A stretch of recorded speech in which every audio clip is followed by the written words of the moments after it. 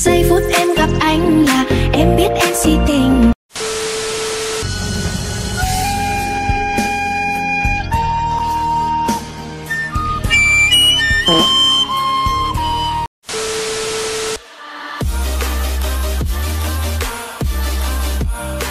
Bruh.